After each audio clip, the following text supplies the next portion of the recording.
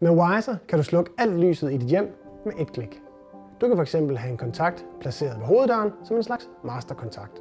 Det er en kæmpe fordel, hvis du skal hurtigt ud af døren en vintermorgen. Du kan også slukke alt fra din mobil, hvis du er kommet lidt for hurtigt ud af døren.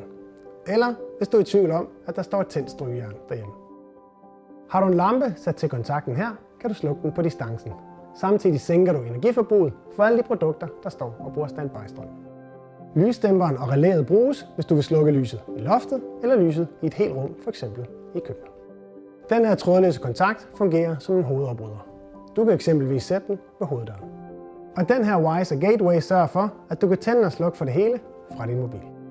Wiser er også kompatibel med de førende digitale assistenter som Alexa, Google Assistant og Siri. Det hele er meget nemt at betjene, systemet kan udbygges, og der kommer løbende nye produkter til. Du kan selv installere de fleste af dem, og du kan få din elektriker til at hjælpe dig.